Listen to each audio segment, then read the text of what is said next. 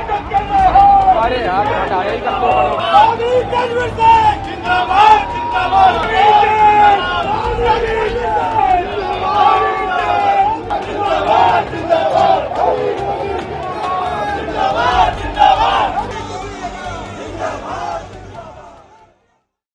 पहले से कहा जा रहा था कि भारतीय जनता पार्टी के आठों प्रत्याशी जीतेंगे।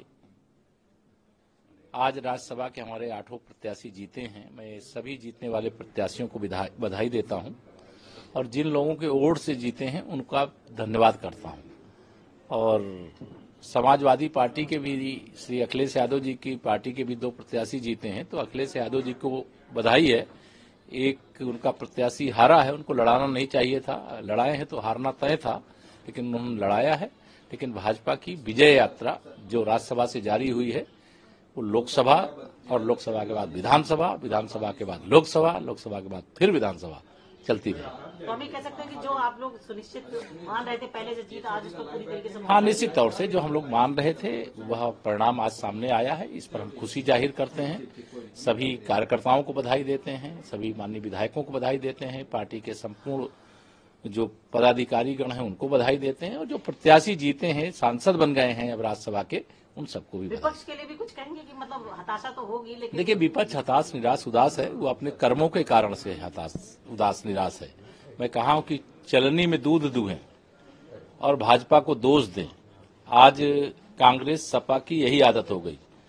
अगर सपा ने अपनी पार्टी को एकजुट रखने में विफल रही है तो ये सपा की कमियाँ है भाजपा की कमियाँ नहीं है। कांग्रेस अगर अपने सरकार वाले राज्य में हार गई और भाजपा के वहाँ राज्यसभा सांसद जीत गए तो यह निश्चित तौर से सपा और कांग्रेस दोनों अपने दलों को संभाल नहीं पा रहे हैं, अपने विधायकों को संभाल नहीं पा रहे हैं, और इसके कारण इनकी पराजय हुई है और भारतीय जनता पार्टी की ऐतिहासिक जीत है, इसके लिए हार्दिक बधाई। हमें अंतिम परिणाम की प्रतीक्षा में हैं हम लोग।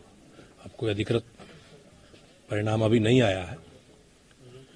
लेकिन हम लोगों ने, हमारी पार्टी ने सभी अपने सहयोगी दलों के साथ बढ़कर बातचीत करके आठों प्रत्याशी घोषित किए हैं। और जो विधानसभा का नंबर है संख्या बल है, वो भारतीय जनता पार्टी और एनडीए के पक्ष में है। मुझे विश्वास है कि हम बड़े अंतर से आठों सीटें प्रथम वरता के वोटों के आधार पर जीतेंगे। और निश्चित रूप से मैं सभी उन सभी अपने साथी सहयोगियों के लिए बहुत अभिनंदन करता हूँ कि जिन्होंने संगठित होकर हमारे सभी साथी सहयोगी दलों ने संगठित होकर सभी लोगों से बातचीत करके भारतीय जनता पार्टी के पक्ष में मतदान कराया। सर समाजवादी पार्टी धांधली का आरोप लगा रही है चुनाव में इसको के लेकर क्या कुछ कहेंगे? अब ये निश्चित रूप से मैं ये कहना चाहता हूँ कि लोकतंत्र के लिए ये शुभ लक्षण नहीं है। हम लोगों को, जो लोगों ने जनादेश दिया है, जो विश्वास व्यक्त किया, उसका सम्मान करना चाहिए। मैंने पहले भी कहा कि विधानसभा का गणित, विधानसभा का अंक गणित, विधानसभा में नंबर समाजवादी पार्टी के पास नहीं थे, और कहीं ना कहीं वो चीज़ें परिणामों से भी प्रदर्शित होंगी। जहाँ तक आक्षेप वाला विषय है, समाजवादी पार्टी का एक चरित्र रहा कि जब हारेंगे तो संवैधानिक संस्थाओं पर इलेक्शन कमीशन पे, पुलिस प्रशासन पे और अनावश्यक प्रकार के आरोप लगाएँगे।